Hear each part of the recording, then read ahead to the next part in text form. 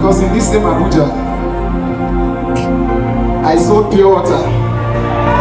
I carry pure water in my head, I sold pure water. Hi everybody, young boss Moses Bliss and I visited the market today. Just want to prove to some people that, that we can still do some things, you know. Hi guys welcome back to the channel. If you're new welcome. Please subscribe and join the family and also click the link in the description box to subscribe to my personal channel where i talk about business and lifestyle in general. In today's video i'm going to be sharing with you everything you need to know about moses bliss his biography his age his career his life before fame how he became famous his life after fame where he grew up, his ex girlfriend, and prophecies that came about his marriage. So, if you're a big fan of Moses Bliss, stick to the channel because you will enjoy every bit of this video. And please remember to subscribe if you have not. Let's cut the chase and get right into the video. Moses Bliss is a Nigerian gospel singer, a worship leader, and a songwriter. He is the founder of Spotlight Nation, a Nigerian record label. His full name is Moses Uyo Enang, and he is popularly known as Moses Bliss. Nestled in the heart of Nigeria, Moses Bliss hails from Essien Udim, local government in Akwa Ibom State in the southern region of Nigeria. Is often misunderstood to be a native of Abuja due to his current residence in the city. However, the assumption is incorrect. He hails from Akwa Ibom State, a melting point of culture, traditions, and rhythm.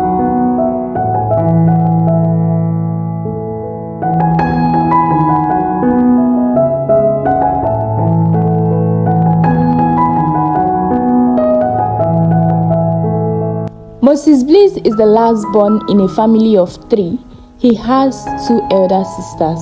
He lost his dad quite early and his mom single-handedly took care of him and his siblings. Moses Bliss grew up in Abuja, Nigeria. He once shared how he sold pure water on the streets of Abuja and also helping his mom in the market to sell vegetables just to make a living. Because in this same Abuja, I sold pure water. Bring pure water in my head, I sold pure water. I was stand in the market and slice for her. You people saw on Instagram how I was slicing. You think it's, it wasn't a special gift, it was a business at some point.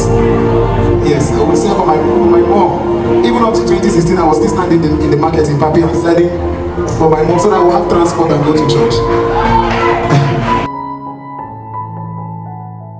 Moses Bliss completed his primary and secondary education in reputable institution in Nigeria. Upon obtaining his first school leaving certificate and senior secondary school certificate, he proceeded to National Open University of Nigeria for his tertiary education.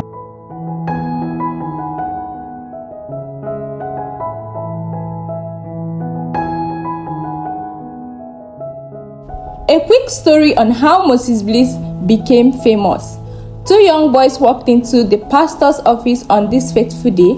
They were young ambitious, and they needed money. They were talented instrumentalists who needed cash for service in church. They were no doubt church boys, but on this very day, they made up their mind to approach their pastor because they want to be paid. Of course, the pastor didn't mince words in telling them that the church does not pay musicians to work for God.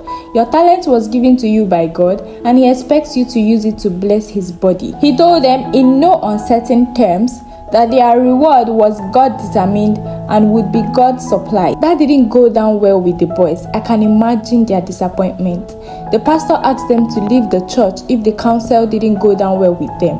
As expected, one left and the other stayed back. He didn't just stay back. Instead, he threw himself on God's work, using his talents to bless the body of Christ. And guess who that person was? Moses Bliss. He was so determined and was constantly serving in church. Soon he was known. He began to carve a niche for himself. In no time at all, offers started rolling in. Oh, they were mouth watering. Moses Bliss got a record deal to veer of a gospel music and gospel work. The package was jaw dropping for a young boy who used to help his mother sell wares in a local market. A car, a two bedroom apartment, 2 million naira, and it was a long list.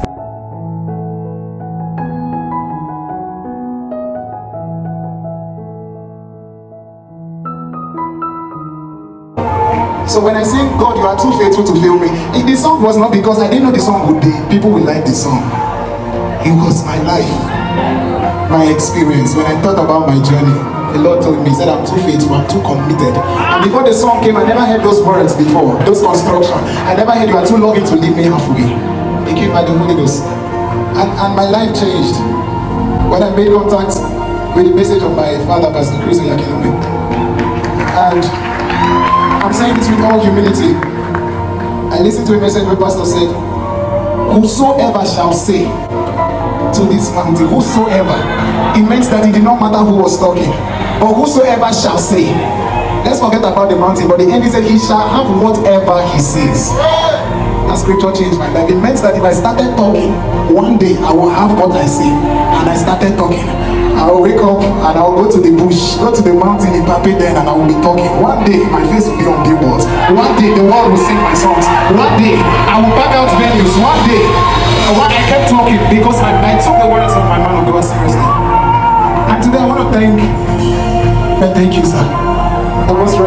so much, sir. Can we celebrate reverend?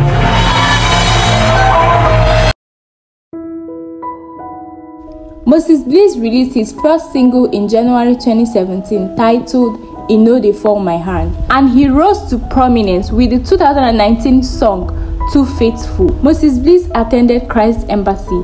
He served faithfully in that church. And when the Love World International Music Arts Award Lima 2020 by his pastor, Pastor Chris Oyakhilome came up, he participated and he won with his song You I Live For. Moses Bliss got a cash prize of $100,000 by Pastor Chris Oyakhilome. That very day, the world literally stood still.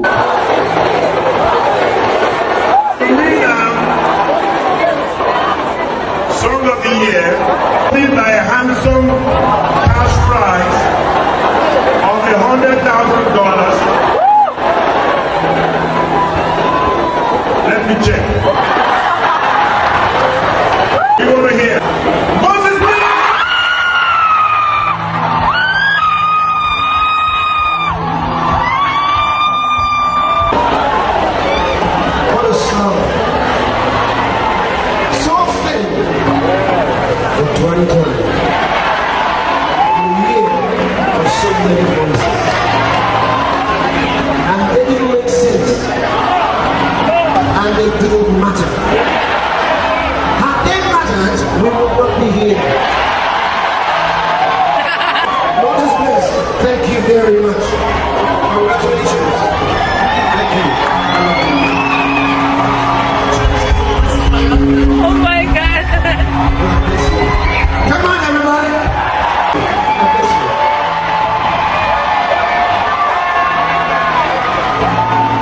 Is a household name just because he refused to leave, just because he was humble enough to put down his head under a mentor who appeared insensitive at the beginning.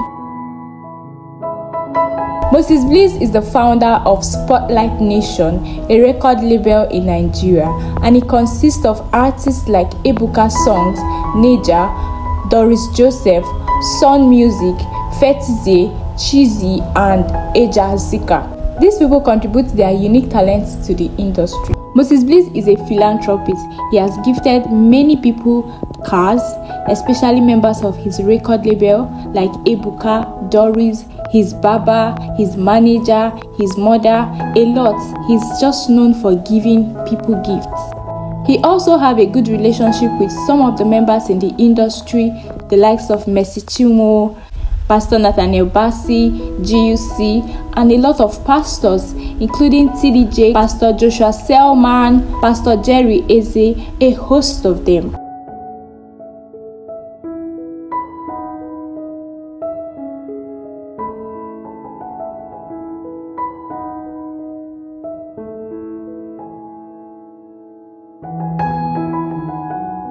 About a while ago, this picture surfaced online and it was rumored that Moses Bliss was in a relationship with this lady. The internet people were not having it. But recently, it was discovered that the lady in question was Moses Bliss' cousin. And anytime Moses Bliss make a post on the internet with any lady, people will always come at him asking if he was getting married.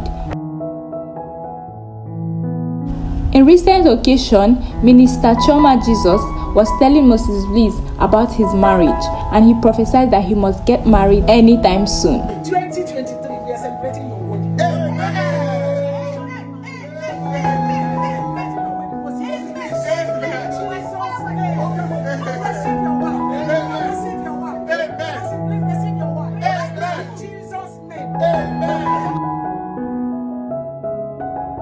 And while everybody was busy trolling Moses Bliss for being single, the young man was just 29 years old. Christmas last year, when he made a post celebrate Christmas, the internet warriors wouldn't let him rest. They kept asking him, When are you getting married? Recently, in February 2024, Moses Bliss announced his engagement to his Ghanaian girlfriend that he met on Instagram, Marie Wiseborn. He said she tagged him in a video of her dancing to his popular song, Miracle No Dey Tire Jesus, and added that they became friends and that their union was orchestrated by God. They did their court wedding in Abuja, Nigeria, and did their traditional marriage and white wedding in Ghana. And currently, they are on their honeymoon.